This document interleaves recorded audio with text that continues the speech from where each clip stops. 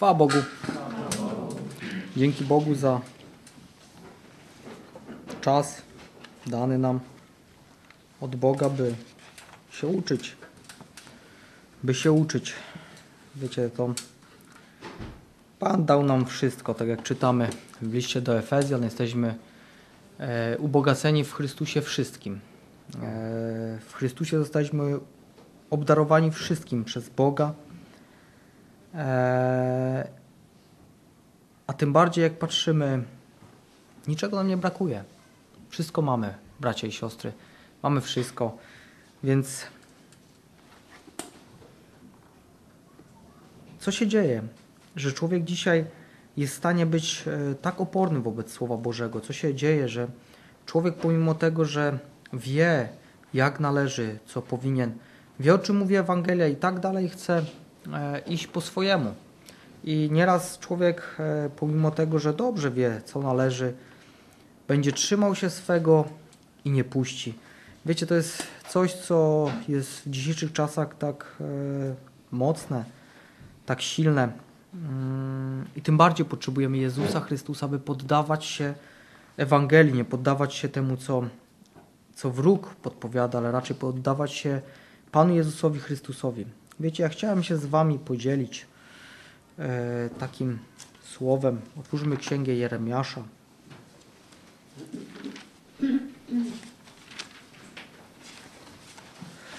Nad którym też się tak zastanawiałem.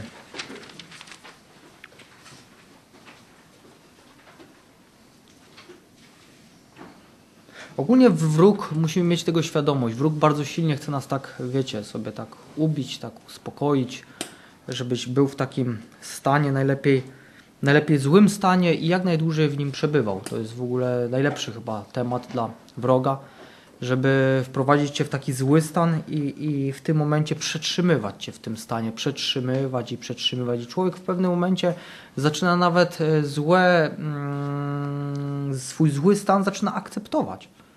I już tak zaczyna żyć. Nie widzi, że jest jakiś problem, nie widzi, że potrzeba zmian, nie widzi, że trzeba ruszyć, e, wziąć się, e, można powiedzieć tak, zebrać i ruszyć za Panem.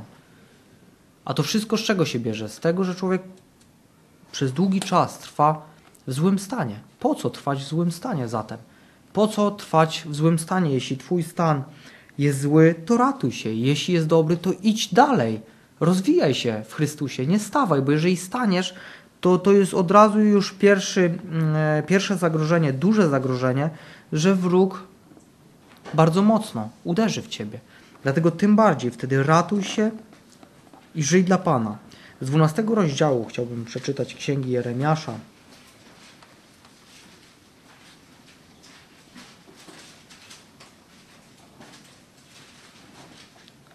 I tu chciałbym z tego 12 rozdziału od 5 wersetu przeczytać.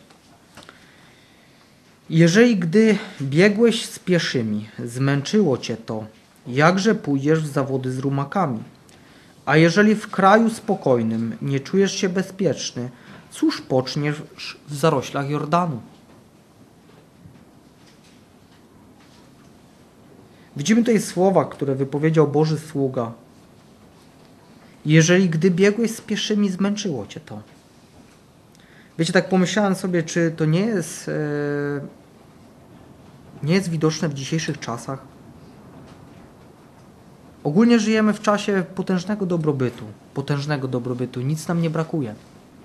Tak naprawdę powinniśmy być nastawieni, ja, ty, bracie i siostry, na to, żeby ratować się, wykorzystywać czas, dodawać sobie otuchy, e, być, być w Jezusie Chrystusie w każdej chwili. Mamy bardzo dobry czas. Wiecie, tak zadałem takie pytanie sobie zapisałem, co zrobisz, jeżeli teraz, w tym kraju suchym, jeżeli teraz, można powiedzieć, kiedy mamy taki spokojny czas, tak wykorzystuje czas, jak wykorzystuje, jeśli nie wykorzystuje tego czasu, jeśli notorycznie marnuje to, co jest mówione, nie chce w ten sposób żyć, jeżeli uparcie nie chce poddać się temu, co jest mówione, nie chce przyjąć temu, tego, nie chce ratować się, nie chce porzucić ciała. Wiecie, to wszystko jest, jest uzależnione od tego, czy ty chcesz, czy chcesz się ratować. To jest moja i twoja decyzja każdego dnia. Kiedy wstajemy, to co tutaj było już mówione, kiedy wstajesz rano, to możesz mieć radość, możesz powiedzieć, Panie Jezu, ale możesz też mieć zupełnie, zupełnie inne uczucia. Możesz stać w własnej sile. Jest taki czas. Możesz stać w własnej sile, możesz ten dzień rozpocząć sa samemu, możesz ten dzień dokładnie samemu wykorzystać, jak chcesz w cudzysłowie. Ale do czego to człowieka ostatecznie prowadzi? I teraz, jeżeli ty w tym czasie, ja w tym czasie, kiedy nie ma nie wiadomo jakiego prześladowania fizycznego, nikt nas nie bije, nikt nas nie ściga, nikt nam nie zabrania. Nikt tu nie krzyczy, nie ma jakiegoś głośnika, który by teraz tam gdzieś u sąsiada grał bardzo mocno i byśmy nie byli w stanie się skupić, albo bardzo mocno musielibyśmy się pilnować, żeby się skupić na tym, co jest mówione. Nie ma kogoś, kto cię zniewala i musisz iść tam, gdzie nie chcesz iść. Jesteś w czasie swobodnym, kiedy to Ty decydujesz w Jezusie Chrystusie. Możesz decydować albo sam decydować o tym, co robisz, jak wykorzystujesz czas, o czym myślisz. Jeżeli Ty w takim czasie wykorzystujesz ja czas dobrze, to chwała Bogu. Ale jeżeli Ty w takim czasie, czy ja, wykorzystujesz, wykorzystujesz ten czas źle i dalej pozwalasz ciału, żeby one przewodziło i one rządziło w moim czy w Twoim życiu, to co się stanie, kiedy przyjdzie ten czas trudniejszy, kiedy przyjdą doświadczenia, kiedy nagle okaże się, że to nie jest bieg z pieszymi, kiedy nagle okaże się, że tutaj już trzeba biec i to biec. Kiedyś pamiętam, e, kiedyś pamiętam, miałem taką sytuację, że w pewnym momencie e, jeden człowiek, e, taki, tak widziałem, jeden człowiek mm, miał ścigać się z drugim. Tam chodziło akurat jakieś takie fizyczne zawody. I wiem doskonale o tym, że ten człowiek, który miał się ścigać z tym człowiekiem, był pewny, że ten, ten człowiek, z którym wszedł w te zawody, po jakimś tam dystansie po prostu już zacznie tracić siły. I on był tego pewien. I wiedział dokładnie, że jak miną ten pewny etap, ten pewny dystans, to ten drugi zacznie słabnąć. Ale okazało się inaczej. Dlatego, że tamten człowiek wykorzystał czas. Wykorzystał czas. I nagle okazało się, że w tym czasie, kiedy tamten był prawie przekonany, słuchaj, on na pewno nie był przygotowany, on wykorzystywał ten czas. I nagle okazało się, że kiedy przyszło dużo większe obciążenie, on był gotowy. I on był w stanie w tym drugim dystansie, który wydawał się, że powinien paść już, całkowicie powinien już nie dać rady, on w tym drugim dystansie jeszcze szybciej zaczął biec, dlatego że był gotowy. Ale z czego to się wzięło? Z czego to się wzięło?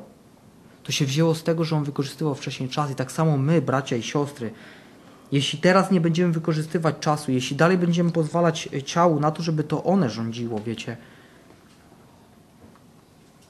to kiedy faktycznie przyjdzie ten czas, przyjdzie czas zawodów z rumakami, tak jak jest tutaj zapisane, to co wtedy poczniesz? Co się wtedy stanie? To bardzo szybko wyjdzie, od razu bardzo szybko wyjdzie. Jak wykorzystywałem ten czas, jak ty go wykorzystywałeś? Jeżeli w kraju spokojnym nie czujesz się bezpieczny, Cały czas jakiś niepokój, cały czas jakieś potępienie, cały czas coś, co goni, co, co, co szarpie człowieka, co nie pozwala mu swobodnie się cieszyć przed Jezusem Chrystusem, nie pozwala mu normalnie żyć przed Panem. Jeżeli cały czas w tym kraju spokojnym ty nie jesteś w stanie, to co się stanie, kiedy będziesz w zaroślach Jordanu? Kiedy faktycznie te myśli, ta ciemność dostanie swój czas Wiemy doskonale, że Pan Jezus dokładnie tak mówił, kiedy chodził po tej ziemi. Że jeszcze nie nadszedł ten czas, ale kiedy ten czas nadszedł, to już przyszło doświadczenie i nasz Pan wygrał, bo był gotowy. Tak samo teraz, na ile ja, na ile Ty wykorzystujesz swój czas, na ile poddajesz się Panu, na ile On jest ważny w moim i w Twoim życiu, Na tyle będziesz gotowy, kiedy przyjdzie ten, ten czas, kiedy będziesz musiał stanąć z zawody z rumakami. Taki czas przyjdzie w życiu każdego z nas. Kiedy będziesz musiał stanąć z zawody z rumakami, wtedy jak wykorzystałeś swój wcześniejszy czas, tak będzie w tych zawodach. Na ile pozwalałeś Panu pracować, na ile poddawałeś się Mu, tak będzie. Jeśli w kraju spokojnym wykorzystywałeś swój czas, należałeś do Chrystusa, to tym bardziej. Dlatego czemu się będziesz poddawał? Ciału? Czy duchowi? Księga Kaznodziei Salomona.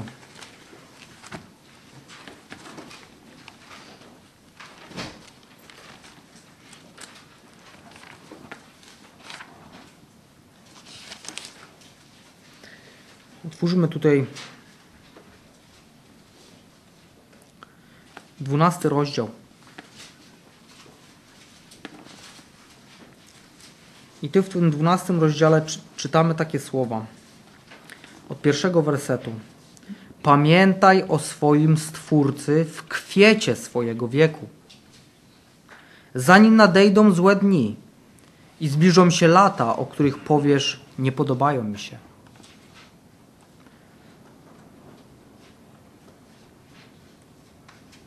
Zanim się zaćmi słońce i światło, księżyc i gwiazdy i znowu powrócą obłoki po deszczu, a są to dni, gdy będą drżeć stróże domowi i uginać się silni mężowie, gdy ustaną w pracy młynarki, bo ich będzie za mało, a wyglądające oknami będą zamglone. Gdy zawrą się drzwi na zewnątrz, gdy ścichnie łoskot młyna, dojdzie do tonu świergotu ptaszków i wszystkie pieśni brzmieć będą cicho. Gdy nawet pagórka bać się będą i strachy czyhać będą na drodze, gdy drzewo migdałowe zakwitnie i szarańcza z trudem wlec się będzie, a kapar wyda swój owoc, bo człowiek zbliża się do swojego wiecznego domu, a płaczący snują się po ulicy zanim zerwie się srebrny sznur i stłucze złota czasza i rozbije się dzban nad zdrojem, a pęknięte koło wpadnie do studni. Wróci się prok do ziemi, tak jak nim był, duch zaś wróci do Boga, który go dał. Czytamy tu słowa. Pamiętaj o swoim Stwórcy w kwiecie swojego wieku. W tym kwiecie, kiedy y, widzimy, kwiecie wieku, kiedy wiele rzeczy nie doskwiera, wiele rzeczy nie przeszkadza, masz swobodę w działaniu takim i takim. Pamiętaj o swoim Stwórcy, wykorzystuj ten czas, ten dobry czas wykorzystuj, bo kiedy nadejdą złe dni i zbliżą się lata, o których powiesz, nie podobają mi się, to czy będziesz gotowy na te lata? Czy będziesz w, sta w stanie wtedy pójść w imieniu Jezusa Chrystusa iść dalej, jako zwycięzca, ja i ty? Nie jako człowiek, który od razu przyjdzie jakakolwiek przeciwność już się poddajesz, bo coś ciału brakuje, bo trochę niewygodnie, e, bo trochę przecież nie w takim standardzie, w jakim jestem przyzwyczajony.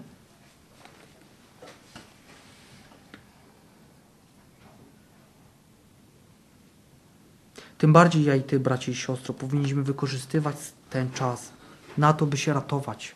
Na to, żeby ratować żeby pamiętać o tym wszystkim, że Stwórca, nasz Stwórca, ten, o którym było już tutaj mówione, który stworzył to wszystko, dał to po to, abyśmy to podziwiali i abyśmy Jemu chwałę oddawali. Nie po to, żeby służyć stworzeniu, ale Stwórcy. Nie po to, żeby służyć stworzeniu, ale Stwórcy. Po to, żeby Jemu oddawać cześć i chwałę. I w tych latach, które będą niewygodne, tym bardziej będziesz gotowy. Wiemy dokładnie z tego psalmu, moglibyśmy otworzyć, że nawet w starości wydają owoc. Dlaczego wydają w starości owoc? Dlaczego oni są gotowi, żeby wydać ten owoc? Czy nie dlatego, że oni pilnowali się Pana? Czy nie dlatego, że chodzili z tym Panem, że należeli do Niego, uczyli się Go? Oni przechodzili przez te etapy, tak jak moglibyśmy otwierać teraz Słowo Boże. Dzieci, młodzieńcy, dorośli. Wszyscy. Bo, dlaczego? Bo trwali w Słowie, trwali w Jezusie i byli w stanie zwyciężać złego, byli w stanie robić to, robić to. Dlaczego? Bo Pan ich wzmacniał.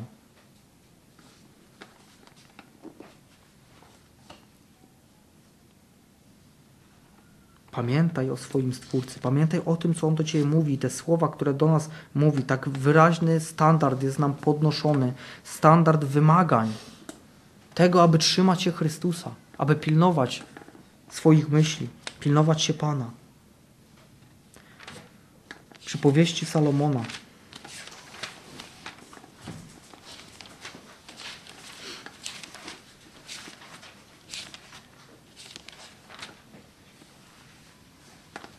I tu chciałbym z piątego rozdziału przeczytać. Tutaj wiemy dokładnie, ten piąty rozdział mówi wyraźnie o tym cudzołóstwie, o tym, co dzisiaj można powiedzieć e, jest tak dzisiaj bardzo szeroko rozpowszechnione. To, co dzisiaj jest e, tak, tak popularne, tak też widzimy, że czas dzisiaj właśnie tego, co, e, co się dzieje na tej ziemi, tym bardziej jest przez ludzi podtrzymywane i dalej w tym trwają, ale nie o tym bym chciał mówić. Tutaj chciałbym przeczytać od siódmego wersetu. Teraz więc, synowie, słuchajcie mnie i nie oddalajcie się od moich słów. Daleko od niej chodź swoją drogą nie zbliża się do drzwi jej domu, abyś nie musiał oddać innym swojej sławy, a człowiekowi okrutnemu swoich lat, aby obcy nie nasycili się twoim mieniem, a ciężko zdobyty twój dorobek nie dostał się do cudzego domu. Wiemy, że tutaj odnosi się do tego, żeby nie chodzić do tego miejsca, nie brać w tym udziału, nie mieć z tym nic wspólnego, trzymać się Boga, ale widzimy, że to, co dalej jest zapisane, tak ściśle wiąże się też i z codziennym życiem, z innymi tematami, abyś pod koniec życia nie narzekał, gdy zwiennie Twoje ciało i Twoja skóra i nie musiał powiedzieć, o jakże mogłem nienawidzić karności, moje serce lekceważyło przestrogę. Nie tylko tą, ale każdą przestrogę, która pochodzi z ust Bożych każdą przestrogę, która do mnie i do Ciebie dociera, żeby się nie okazało, że Twoje ciało zacznie więdnąć, ten czas przyjdzie. I żebyś nie musiał powiedzieć, o jakże mogłem słuchać tego wszystkiego, co było do mnie mówione. Tego, co było do mnie mówione w tym czasie, jakże mogłem tego słuchać, jakże mogłem nakłaniać ku temu serca swego, swoje uszy.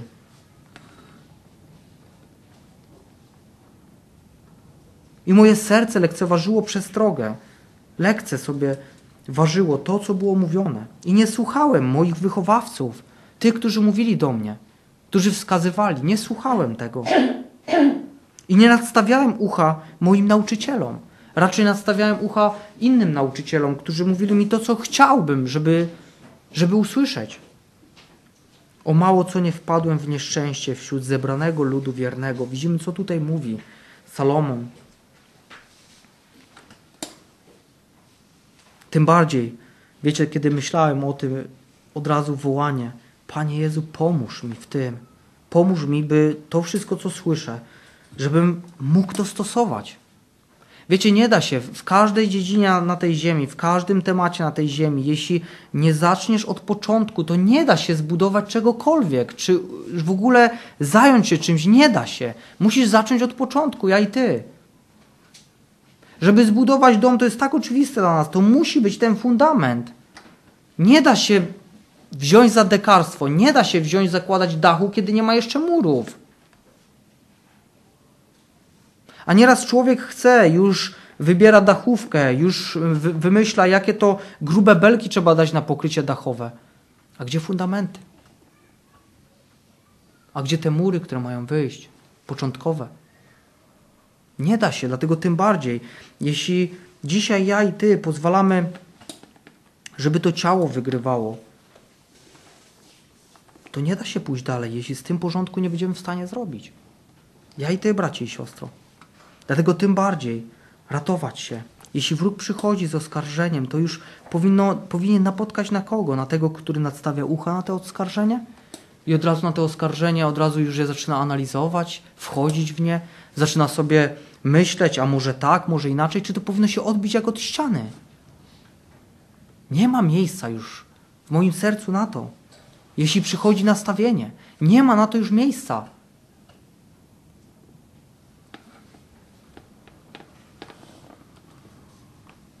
Jeśli przychodzi upartość i odzywa się we mnie, znowu to nie, ja tak nie zrobię, ja tak nie będę robił.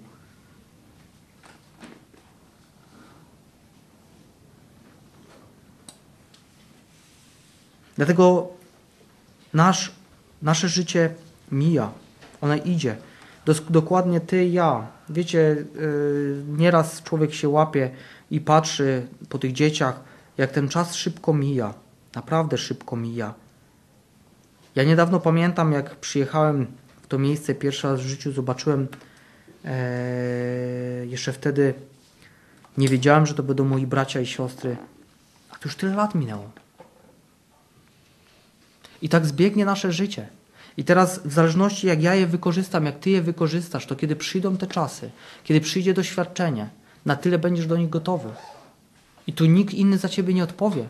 Tutaj ja odpowiem za siebie i ty odpowiesz za siebie.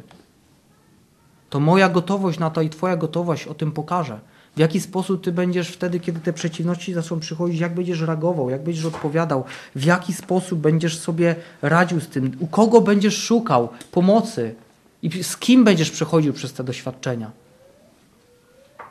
Czy wtedy będziesz potrzebował wsparcia człowieka, czy będziesz miał wsparcie w Jezusie Chrystusie i powiesz, Panie, w Tobie jest moja nadzieja i będę szedł, choć wszystko będzie pokazywać, choć będzie mi mówić, wszystko w koło, że nie idź, nie rób tego, ja pójdę dalej. Pójdę za Jezusem. Niech Pan pomoże mi i Tobie, bracie i siostro, w tym, abyśmy właśnie dobrze wykorzystując ten czas, ratując się i ucząc się od podstaw, tych od drobnych rzeczy do większych, większych, większych, żeby właśnie, kiedy przychodzą te podstawowe rzeczy, to żeby móc być człowiekiem, który jest w Chrystusie i te, te pokuszenia odbijają się od ściany. Nie mają miejsca zaczepienia. Po prostu nie mają. Bo człowiek ratuje się, bo człowiek idzie dalej, bo człowiek słucha się Pana i nie chce mieć już z tym nic wspólnego. Plotki? Po co mi to? Intrygi? Po co mi to? To mi nie jest potrzebne. Przecież wiem, że przecież to nie działa ku mojemu dobru. Wiem, że to sprawia we mnie zniszczenie i nie dodaje mi sił w Chrystusie. To po co? Coś, co nie buduje? Po co? Niech Pan pomoże nam, bracia i siostry, bo czas mija. Wiecie, kiedy tak myślałem o tym i zastanawiałem się nad tym, to czas mija, naprawdę czas leci. I teraz w zależności jak będę się poddawał Panu, tak będę gotowy na bieg z rumakami. Przypowieści Salomona I tutaj chciałbym od czwartego wersetu, no, czwarty rozdział, przepraszam, przeczytać. I tutaj od dwudziestego wersetu. Synu mój, zwróć uwagę na moje słowa. Nakłoń ucha do moich mów. Nie spuszczaj ich z oczu, zachowaj je w głębi serca, bo są życiem dla tych, którzy je znajdują i lekarstwem dla całego ich ciała. Czujniej niż wszystkiego innego strzeż swego serca, bo z niego tryska, tryska źródło życia. Wiecie, ile pięknych obrazków już widziałeś z tym wersetem. Ile pięknych tapet. Ile pięknych e, wysłanych słów właśnie na podstawie tego. Ale bracie i siostry, jeśli ja się za to nie wezmę, jeśli ty się za to nie weźmiesz, to kto na tym straci? Oddal od siebie fałsz ust i trzymaj z dala od siebie przewrotność warg. Niech Twoje oczy patrzą wprost. Nie patrz na prawo, na lewo. Patrzą wprost. Na kogo mają patrzeć wprost? Na kogo? Na Jezusa Chrystusa mają patrzeć. Wprost. A Twoje powieki niech będą zwrócone prosto przed siebie. Tylko na Pana. Jezusa Chrystusa. Bacz na tor, po którym ma stąpać Twoja noga i niech będą pewne wszystkie Twoje drogi. Nie zbaczaj ani na prawo, ani na lewo. Powstrzymuj swoją nogę od złego. Widzimy, jakie tu są słowa. Synu mój, zwróć uwagę na moje słowa. Nakłoń ucha do moich mów. Nakłoń ucha. Zważ, że to wszystko, co jest mówione, to jest ku Twojemu dobru, ku mojemu dobru, po to, aby mógł być gotowy na ten czas, w którym wielu ludzi będzie mógł powiedzieć: Nie podoba mi się ten czas.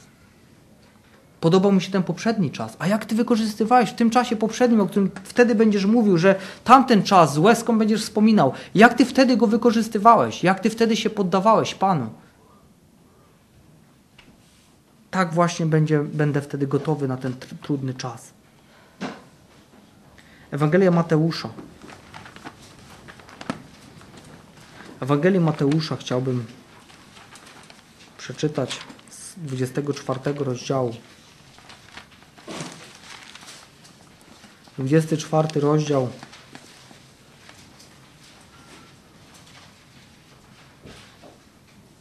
Tutaj czytamy od 43 wersetu. A to zważcie, że gdyby gospodarz wiedział, o której porze złodziej przyjdzie, czuwałby i nie pozwoliłby podkopać domu swego. Dlatego i wy bądźcie gotowi, gdyż Syn Człowieczy przyjdzie o godzinie, której się nie domyślacie. Tu z kolei Pan Jezus mówi wyraźnie nam w taki sposób. Gdyby gospodarz wiedział, o której porze złodziej przyjdzie, gdyby ludzie wiedzieli dokładnie, kiedy nadejdzie ten czas, ciężki czas, doświadczenie, kiedy nadejdzie próba, to czuwaliby i nie pozwoliliby podkopać swego domu. Ale kiedy nie wiedzą, kiedy jest spokój, kiedy wydawałoby się, że wszystko jest tak spokojnie, tak przecież tak normalnie, to człowiek od razu daje sobie na ten przysłowiowy luz. Dlatego i wy bądźcie gotowi, gdyż Syn Człowieczy przyjdzie o godzinie, której się nie domyślacie. O godzinie, której się nie domyślacie, On przyjdzie. I co wtedy? Wielu ludzi może sobie myśleć, a znaki takie nie, nie, jeszcze się nie wydarzyły, takie znaki się nie wydarzyły. Człowieku, jeśli zamkniesz swoje oczy, to zapewniam Cię, że kiedy je otworzysz, to otworzysz je i zobaczysz sąd.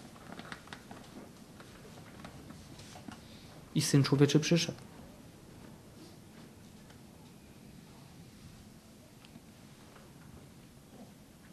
O godzinie, której się nie domyślacie. To znaczy, że godzinie, którą w życiu byście nie powiedzieli, że to jest akurat ten czas, że to będzie ta pora, że to będzie ta chwila. Nie domyślacie się. Nawet, nie, nie, nawet na wam to na myśl nie, przysz, nie przyjdzie. Nawet nie przyszłoby wam to na myśl, że to akurat będzie wtedy. Trzeba być gotowym. Jeśli będziesz gotowy, wygrasz. Jeśli nie będziesz gotowy, przegrasz. 25 rozdział też z Ewangelii Mateusza. I tutaj 13 werset, takie słowa Pan Jezus mówi. Czuwajcie więc, bo nie znacie dnia ani godziny, o której Syn Człowieczy przyjdzie. Czuwajcie więc, czuwajcie. Bądźcie, przygotowujcie się, bądźcie czujni, przygotowujcie się, bo nie wiecie. Tego nie wiecie. Ewangelia Łukasza. Pan Jezus dużo o tym mówił, tylko chciałbym kilka takich miejsc przeczytać.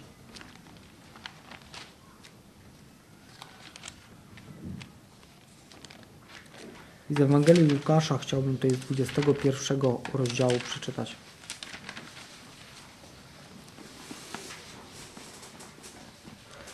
I tutaj czytamy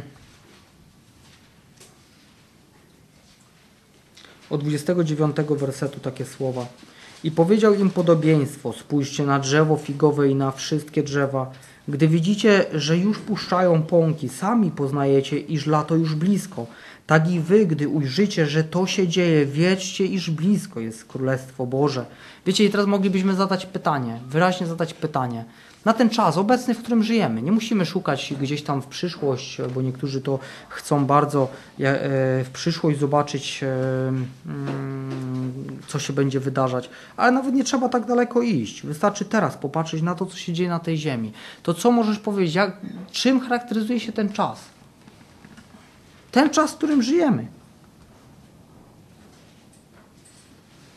Iż blisko jest Królestwo Boże.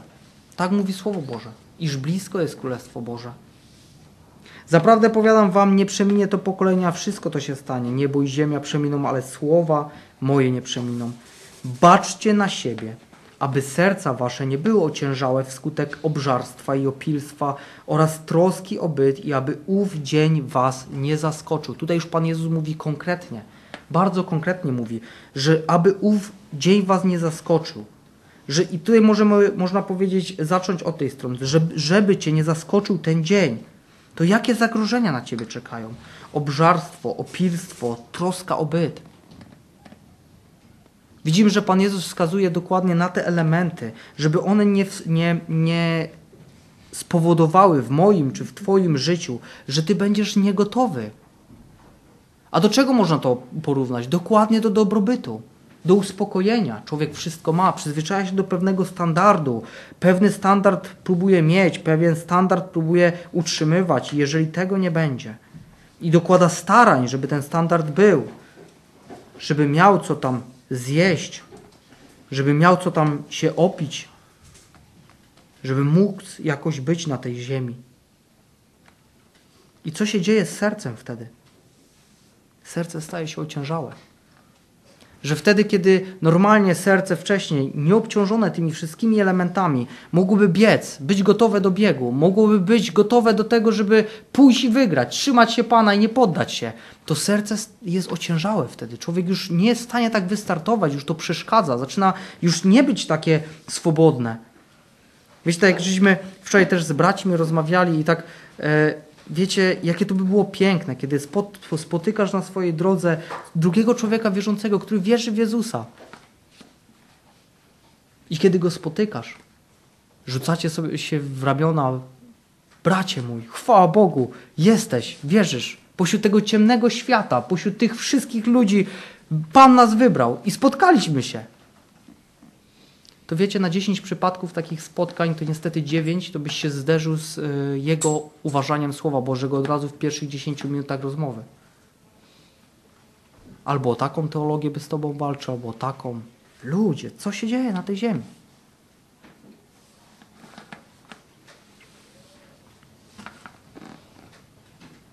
Dlatego baczcie na siebie. Wiecie, ja tak sobie jeszcze sprawdziłem w różnych przekładach, to zważcie na siebie, uważajcie na siebie. Uważajcie na siebie. Co to znaczy uważać na siebie? No zwróć na to uwagę, popatrz na siebie.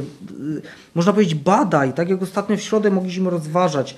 Doświadczaj, sprawdź. Czy te serce jest ociężałe, czy te serce jest takie gotowe do biegu?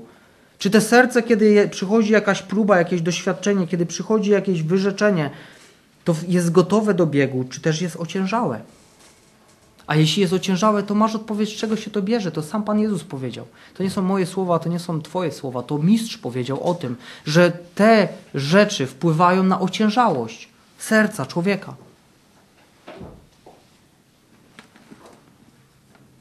Dlatego tym bardziej, ja i Ty, bracie i siostro, trzymać się Jezusa Chrystusa, poddawać się Panu, badać, doświadczać. Panie, ratuj mnie, pomóż mi.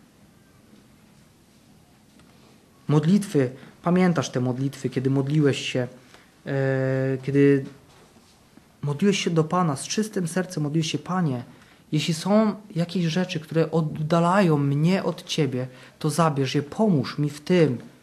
Zabierz. I byłeś gotowy na te modlitwy. Ja byłem gotowy. I mogłeś swobodnie je mówić. A co się dzieje, kiedy człowiek zaczyna walczyć o swoje, swój byt, o swoje coś tam? Nagle się okazuje, że już człowiek bardziej rozważa te słowa przed Panem i zaczyna inaczej je wypowiadać, a tym bardziej ja i Ty powinniśmy być gotowi. Panie, jeśli coś jest, to proszę Cię, naucz mnie, bo jeśli Ty mnie nie nauczysz, jeśli ja nie dam się pouczyć tu za mego życia, to co mi to pomoże? Czas się skończy. W pewnym momencie czas ucieknie, jest finał, koniec, poszło już, nie ma. A jeśli dam się pouczyć, to Pan mnie przygotuje i będę gotowy na czas. Kiedy będzie bieg z rumakami, ja będę gotowy, pójdę i wygram. Dzięki Bogu, dzięki Jezusowi Chrystusowi.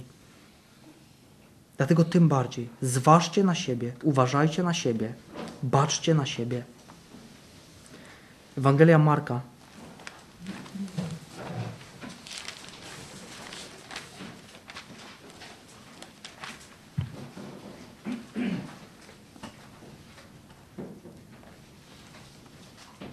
Wiecie, chwała Bogu, ale kiedy te piękne świadectwa z Panem Jezusem, kiedy doświadczasz, że jeśli Pan Jezus jest z Tobą, to On Cię przeprowadzi przez wszystkie rzeczy. Pan Jezus, czy Pan Jezus potrzebuje fizycznej waluty, czy potrzebuje jakiegoś e, złota, czy nie wiadomo czego, żeby Cię przeprowadzić imię? On nie potrzebuje tego, wiemy o tym.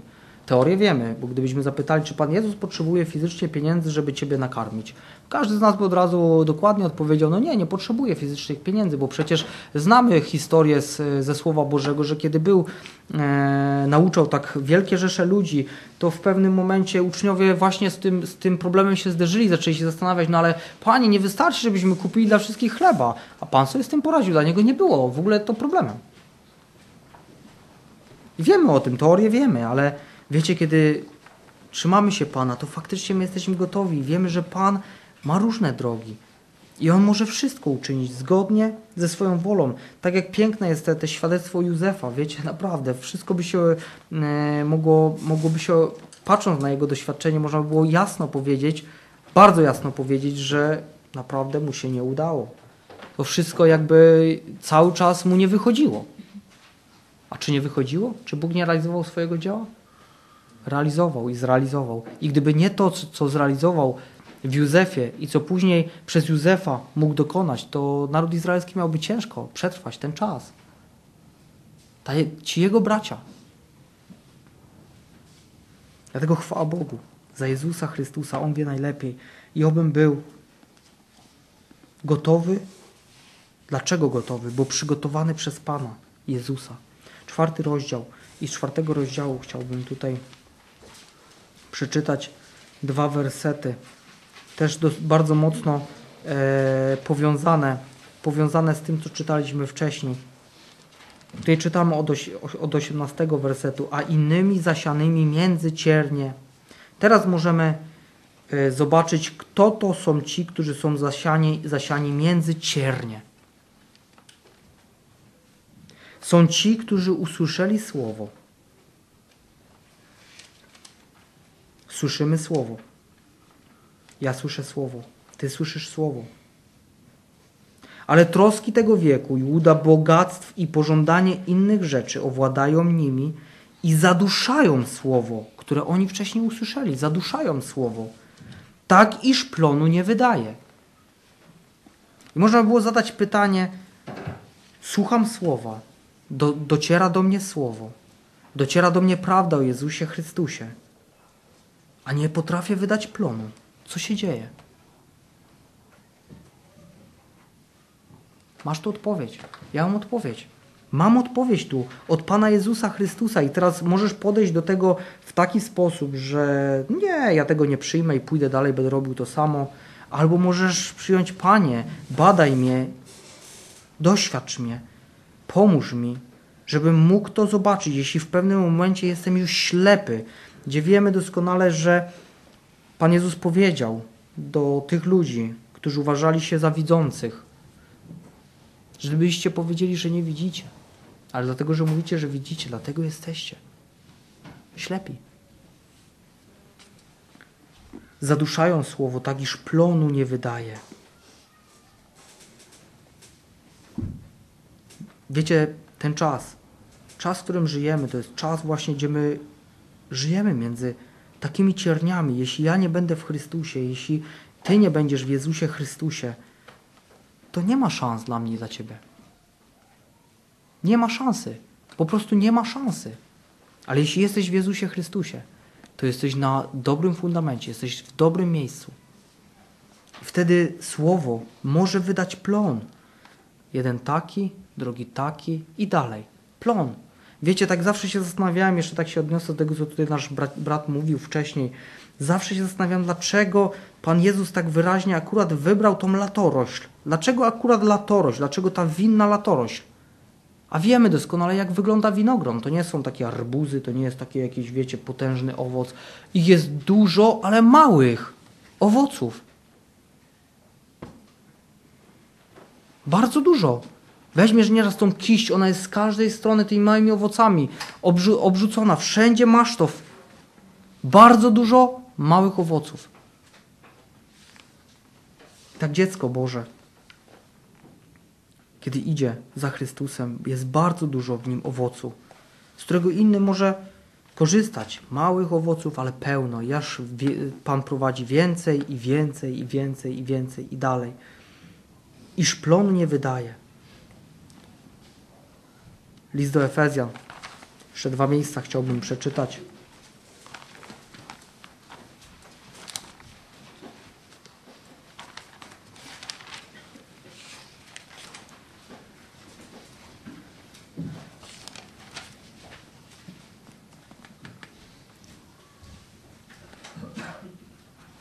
Też powiązane z tym, co Pan Jezus mówił. Tutaj piąty rozdział czytamy takie słowa.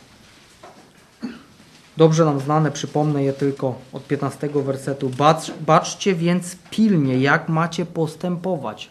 Baczcie więc pilnie, jak macie postępować nie jako niemądrzy, lecz jako mądrzy, wykorzystując czas, gdyż dni są złe. Wykorzystując czas, gdyż dni są złe. Z kim wykorzystując czas? Z kim wykorzystując czas? Z Jezusem Chrystusem, żeby z Nim być. Z Panem być. Wiecie, to jest ciekawe, ale czas, w którym żyjemy, jest mnóstwo ludzi, którzy spędzają czas ze Słowem. Jest mnóstwo ludzi, którzy się modlą. Jest mnóstwo ludzi, którzy wydawałoby się, że robią dobre rzeczy. A co się dzieje? Że kiedy przychodzi bieg z rumakami, człowiek nie jest w stanie biec. Co się dzieje? Czy to jest czas wykorzystany z Panem, czy bez Pana? Osądźcie sami. Bo ja wiem, dokładnie wiem, że każdy czas spędzony z Jezusem Chrystusem wydaje dobry owoc. Dobry owoc. Wiem o tym, że każdy czas, jaki by to nie był czas, co byś nie robił, czy będziesz się modlił, czy będziesz śpiewał, czy będziesz rozmawiał z Nim, każdy czas, każda chwila spędzona z Jezusem Chrystusem przynosi dobry owoc.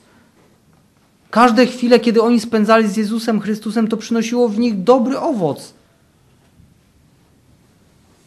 Można powiedzieć, uczniowie siedzieli z Panem Jezusem i uczyli się. Słuchali tych pięknych słów. Jeszcze raz przytoczę, wiecie, do tego 13 rozdziału Ewangelii Jana, tak piękny, piękny ten wieczór, ta noc. Z jednej strony przed największym doświadczeniem, a z drugiej strony ile pięknych słów wypowiedzianych i zapisanych dla mnie i dla Ciebie, że mógł je czytać, że mógł usłyszeć to, co Pan Jezus mówił w tym czasie do mnie, do Ciebie, bracie i siostro. A z drugiej strony byli też inni, którzy spędzali czas, też ze słowem, analizowali tam, analizowali tam stare przymierze, zastanawiali się nad tym i jakże coraz więcej byli pewni, że właśnie to tego Jezusa trzeba temat zakończyć. Dlatego tym bardziej, bracie i siostro, bacz więc pilnie. Bacz więc pilnie. Komu to czynisz? Z kim to czynisz? Co robisz? Jak masz postępować? Nie jako niemądrzy, lecz jako mądrzy. Nie jako niemądrzy, ale jako mądrzy w Jezusie Chrystusie, wykorzystując czas, gdyż dni są złe. Są te dni złe, to wiemy, ja tylko przypominam te słowa. Jeszcze też bym chciał, chciał z listu do Efezjan, z jednego miejsca, przeczytać też z czwartego rozdziału.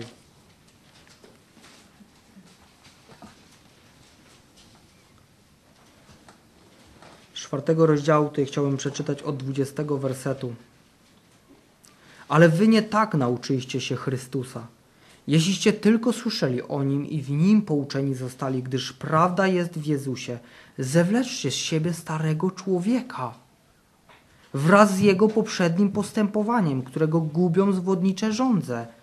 Jeśli pouczeni zostaliście, jeśli to do was dociera, wykorzystaj ten czas – ale po co wykorzystaj ten czas? Żeby zewlec z siebie starego człowieka, który będzie cię zawsze ciągnął w zło, który zawsze cię będzie ciągnął do złego, zawsze będzie cię ciągnął do tego, co nie jest dobre. Wraz z jego poprzednim postępowaniem, którego gubią zwodnicze żądze. I odnówcie się w duchu umysłu waszego, obleczcie się w nowego człowieka, który jest stworzony według Boga w sprawiedliwości i świętości prawdy. Chwała Bogu za Jezusa Chrystusa. Masz tą możliwość, bracie i siostro. Ty i ja masz tą możliwość. Tylko czy z niej będziesz chciał korzystać? Czy w kraju spokojnym, czy w tym czasie spokojnym, w tym czasie, kiedy możesz swobodnie się uczyć, swobodnie do Ciebie może docierać Ewangelia, swobodnie do Ciebie może to docierać. Czy wykorzystasz ten czas? Czy ja go wykorzystam? Czy też nie? Bo później jak przyjdzie bieg z rumakami, nie będziesz gotowy.